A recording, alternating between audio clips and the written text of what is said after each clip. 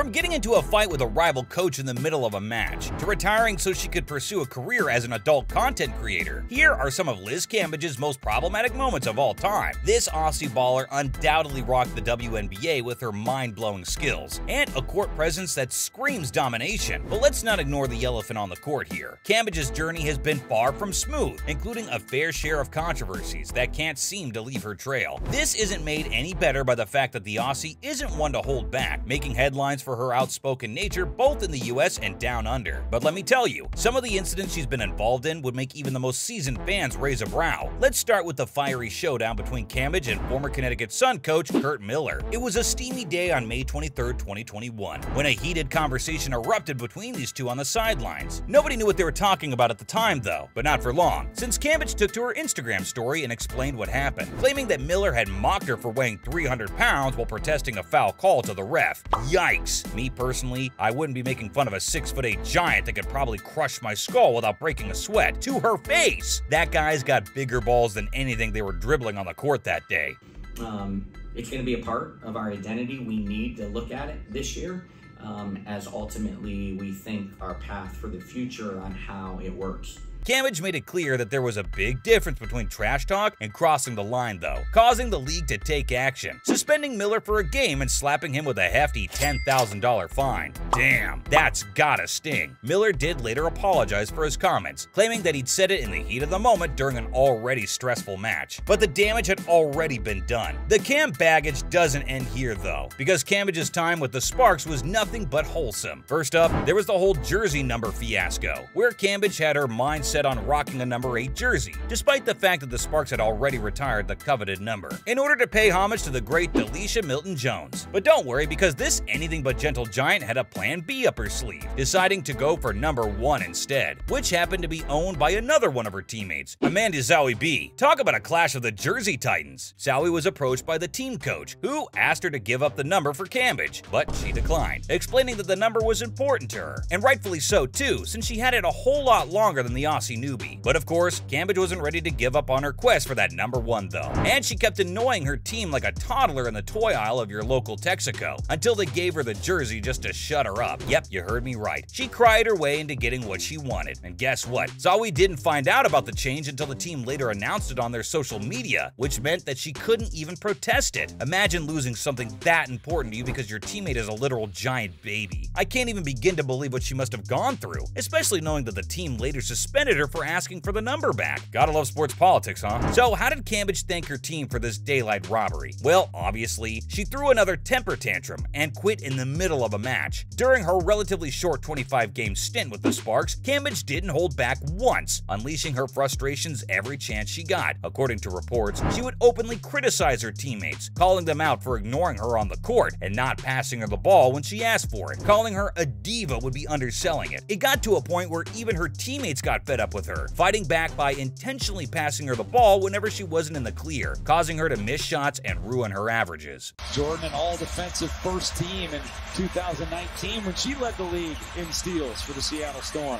Oh, nice back cut there, or drop step rather, by Liz.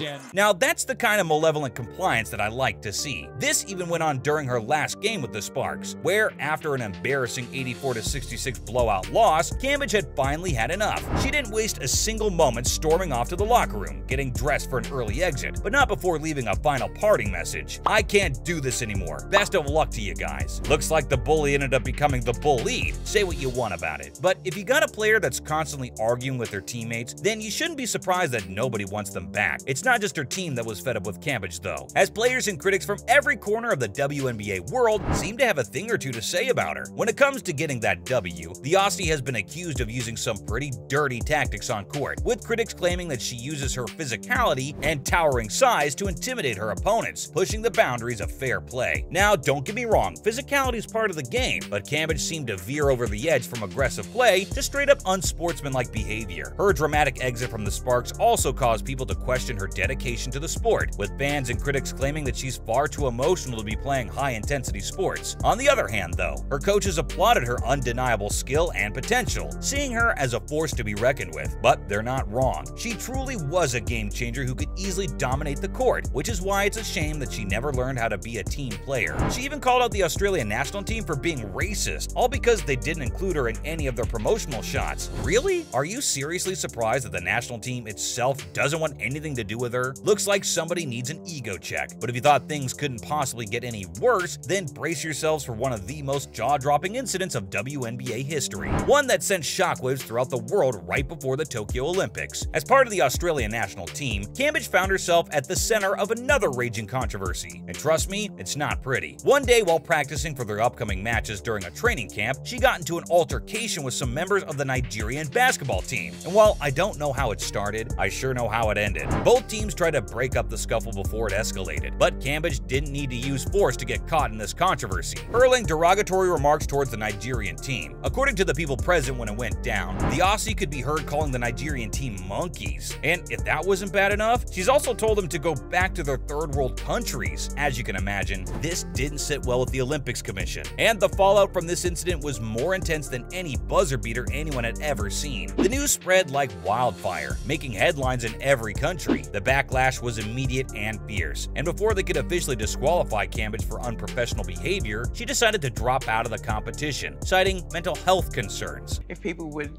take it well or take it badly, because it was pretty open and honest. Um, but I think it did, a lot of people did connect with it. Um, I guess, yeah, well, it was a big release for me. It wasn't entirely inaccurate, though. I mean, racism counts as a mental illness, right? After all these controversies, it came as no surprise that Cambage announced that she was stepping away from the WNBA.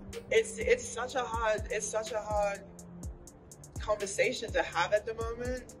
But at the end of the day, I just I just hope there's a way that everyone gets to play the sport that they, they want to play she decided to take a three-week break in July 2022, which developed into a permanent departure, surely much to the pleasure of many in the sport. Later, the towering sensation decided to cash in on her fame by opening an account on an adult website. Yep, you heard that right. Subscribers could pay to catch a glimpse of some raunchy pics of the basketball queen. Talk about a career change. When asked about the change, she admitted that she was scared to make the move originally, but with support from her friends and family, she decided to go through with it. Plus, with every other member on the site also being an influencer, she decided to hop on the bandwagon and and make some dough too. You gotta hand it to her. She really knows how to seize an opportunity when she sees it. With Cambage already having a massive online presence, her account easily skyrocketed to success, amassing a jaw-dropping 27,000 likes within just a few months of launching her account. Gonna have to do some hands-on research myself once I'm done recording. So, from retiring in order to pursue a career as an adult content creator, to getting into a fight with a rival coach in the middle of a match, these were Liz Cambage's most problematic moments of all time.